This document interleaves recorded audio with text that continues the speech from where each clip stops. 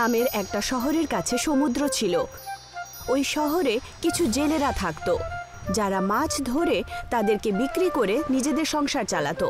তাদের মধ্যে একজন চালাক জেলে ছিল, ওমকার নামের। ও এতটাই চালাক ছিল যে ও সস্তা মাছও বেশি দামে বিক্রি করত। তারই একটা বন্ধু ছিল, প্রদীপ, যে খুবই সরল স্বভাবের ছিল। কেরা তার সরলতার লাভ ওঠাতো। একদিন প্রদীপ চায়ের দোকানে দাঁড়িয়েছিল। কি রে? এখানে তুই আর কতক্ষণ ধরে চা খাবি? মাছ ধরবি না নাকি? মাছ ধরতে তো হবেই। কিন্তু ভালো মাছ তো গভীর সমুদ্রে গেলেই পাওয়া যায়। আর ওখানেও কয়েকজন জেলে আবার কবজা করে রেখেছে। তাহলে আমরা কোথায় যাব? আরে তুই সব সময় অলসের মতন কথা বলিস আর কিছু পারবি না এমন ভাব করিস। আজকে আমার সাথে চত। আজকে আমরা দুজন বন্ধু গিয়ে মাছ ধরে নিয়ে বাড়ি ফিরবো। তারপর দুজন বন্ধু মাছ ধরার জন্য সমুদ্রের কাছে যায়। বড় বড় ঢেউ আসছিল। সমুদ্রে হয়তো তুফান আসছিল। যেইমাত্র ওমকার আর প্রদীপ সমুদ্রের ভেতরে পৌঁছায়, ওখানে ওরা দেখতে পায় দুজন ডাকাত জেলেকে। কি? এই দেখো, সামনে থেকে আরও দুজন জেলে আসছে। মনে হচ্ছে ওরাও মাছ ধরতে চায়। সেই জন্যে ওরা এত গভীর সমুদ্র অব্দি চলে এসেছে। ওদেরকে এখান থেকে তাড়িয়ে দিতে হবে। না হলে এরা দুজন আমাদের মাছ ধরে নিয়ে চলে যাবে। হ্যাঁ তুমি ঠিক বলেছ। দাঁড়াও আমি এক্ষুনি এদের সায়স্তা করছি। প্রদীপ আর ওমকার যেইমাত্র ওই দুজন জেলেদেরকে নিজেদের কাছে আসতে দেখে ওমকার বুঝতে পেরে যায় যে কিছু একটা গন্ডগোল আছে। কি?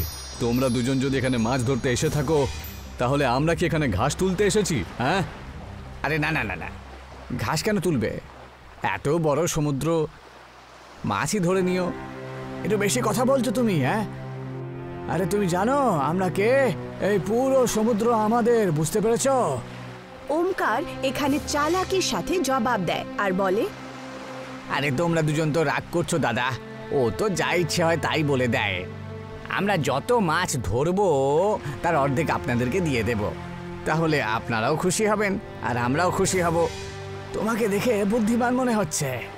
চলো তোমার কথা শুনে আমার মনে হচ্ছে তোমাকে আমাদের সাথে রাখতে পারি।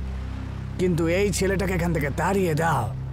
না হলে ওর নৌকোটা ভেঙে ওকে সমুদ্রে ভাসিয়ে দেব। ছাড়বো না ওকে আমরা। ওই জেলেদের কথা শুনে ওমকার খুশি হয়ে গেল। ওরা ওমকারকে মাছ ধরার জন্য অনুমতি দিলেন। এই যাও তুমি এখান থেকে। না হলে তোমার জন্য এরা আমাকেও মাছ ধরতে দেবে না। যাও, তুমি এখান থেকে চলে যাও। যদি এখান থেকে আমি চলে যাই, তাহলে আমি মাছ থেকে ধরবো? আমার পরিবার যে না খেয়ে মরবে। তুমি যাও, সমুদ্রের ধারে গিয়ে মাছ ধরো। এখানে একদম আসবে না। প্রদীপ ওখান থেকে মন খারাপ করে চলে যায়। ওখানে গিয়ে ওকে কঠোর পরিশ্রম করার পরও চারটে মাছই খুঁজে পায়। ওই চারটে মাছকে নিয়ে ও বাজারে বিক্রি করার জন্য যায়। ওখানে বাজারে ও ওমকারকে দেখে অবাক হয়ে যায়। ও দেখতে পায় যে ওমকারের কাছে অনেকগুলো মাছ রয়েছে। তুমি এত মাছ ধরে নিয়ে এসেছ? আমি তো মাত্র কয়েকটাই মাছ পেয়েছি। আজ এগুলো দিয়ে আমি দিন কাটাবো। আরে আমার ব্যাপারে একটু আলাদা বুঝলি? তোর মতন কি আর আমি বোকা নাকি হ্যাঁ? সেই দিন ওই চারটে মাছকে বিক্রি করে প্রদীপ নিজের বাড়ি গিয়ে ঘুমিয়ে পড়ে। পরের দিন আবার প্রদীপ নিজের জাল নিয়ে নৌকোয় বসে সমুদ্রে চলে যায়। সেই দিন সমুদ্রে তুফান এসেছিল আর খুব জোরে বৃষ্টিও হচ্ছিল। এত জোরে তুফান আর বিপজ্জনক ওয়েদারের ব্যাপারে সমুদ্র খালি ছিল কিন্তু নিজের পরিবারকে পালন করার জন্য প্রদীপ সেই বিপদের মধ্যেও চলে যায়। আজকেও যদি মাছ ধরতে না পারি তাহলে অনেক ঝামেলা হয়ে যাবে। যে করি হোক আমাকে মাছ ধরতেই হবে। গভীর সমুদ্রে যাওয়ার পর ওখানে খুব জোরে ঢেউ আসতে শুরু করে। আর দেখতে দেখতেই তুফানের কারণে প্রদীপের নৌকো ভেতরে চলে যায়। মনে হচ্ছে আমার নৌকোটা ডুবে যাবে। হে ভগবান হে ঈশ্বর। সমুদ্রের তুফান শেষ হয়ে যাওয়ার পর যখন প্রদীপের চোখ খুলল তখন ও অবাক হয়ে যায়। ও দেখল যে ও একটা অন্য দুনিয়াতে আছে। পুরো সমুদ্র যেন মধুর মতো মনে হচ্ছিল। মোটা মোটা মাছ সমুদ্রে সাঁতার কাটছিল। এটা আমার সাথে কি হয়ে গেল? আমি আবার স্বপ্ন দেখছি না তো। আমার নৌকোটা কোথায় গেল? প্রদীপ নিজের নৌকোর কাছে যায় আর ওই সমুদ্র থেকে অনেকগুলো মোটা মোটা মাছ তুলে নেয়। এখানে তো অনেক মাছ রয়েছে। আর সবকটা মাছই বেশ বড় বড় আর বেশ মোটাও। হ্যাঁ ঈশ্বর আপনাকে কোটি কোটি ধন্যবাদ। প্রদীপ সমস্ত মাছ নিয়ে বাজারে বিক্রি করতে যায়। ওখানেই ও ওমকারকে দেখতে পায়। যার ঝুড়িতে মাত্র চারটে মাছই ছিল আর প্রদীপের ঝুড়ি পুরো মাছে ভরে গেছিল। টাটকা টাটকা মাছ নিয়ে যান। কম দামে মাছ পাওয়া যাবে। হ্যাঁ হ্যাঁ আর এটা কত? আর ওটা ওটা কত? আচ্ছা কয়েক মিনিটের মধ্যেই প্রদীপের সমস্ত মাছ বিক্রি হয়ে যায়।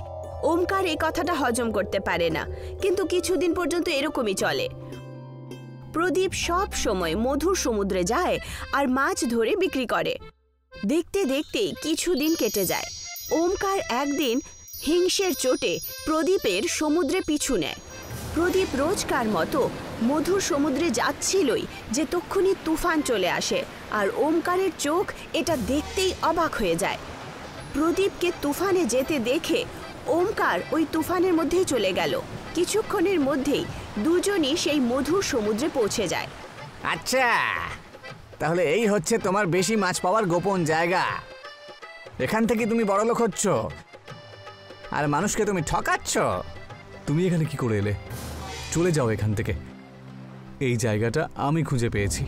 চলে যাও আর এখানে একটা মাছও তুমি হাত দেবে না। এ- এই বোকা তুই মাছের পেছনে পড়ে রয়েছিস। আর এদিকে দেখ এখানে কত মধু আর আর মিষ্টি চিনির পাথর পড়ে রয়েছে। এগুলো যদি আমি বাজারে বিক্রি করি তাহলে আমি বড়লোক হয়ে যাব। তার মানে? আর একটু ভালো করে দেখ।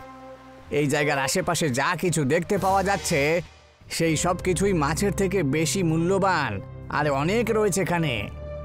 যদি এগুলোকে আমি একবারে নিয়ে গিয়ে বাজারে বিক্রি করি তাহলে সারা জীবন আমাকে আর কোনো কাজই করতে হবে না। কিন্তু তুমি লোভ করছ। মাছ বিক্রি করে আমাদের ব্যবসা ভালোই হয়। তাহলে আমরা অকারণে এত লোভ কেন করব? এই তুমি চুপ করো তো আর তুমি তোমার কাজ করো। প্রদীপের কোনো কথা না শুনে ওমকার মধু আর সমস্ত জিনিস লুটে নেয়। ততক্ষণই ওখানে অনেকগুলো মৌমাছি চলে আসে। আর ওকে মধু আর মিষ্টির অন্য জিনিস চুরি করতে দেখে ওকে কাটতে শুরু করে। আরে বাঁচাও! বাঁচাও ঈশ্বর বাঁচাও কে আছো? বাঁচাও। প্রদীপ সেই সময়ই নিজেকে লুকিয়ে নেয় আর ওমকারকে দেখে হাসতে শুরু করে। একেই বলে অতি লোভে তাঁতি ডোবে। এবার কেমন জব্দ হলে? আরও হ বড় লোক এর সাথেই মধুর সমুদ্রের সাহায্যে প্রদীপ মাছ বিক্রি করে ধনী হয়ে যায়। ওমকার তার লোভে শাস্তি পেয়ে যায়। আর প্রদীপ আর তার পরিবার খুব হাসি খুশি জীবন কাটায়।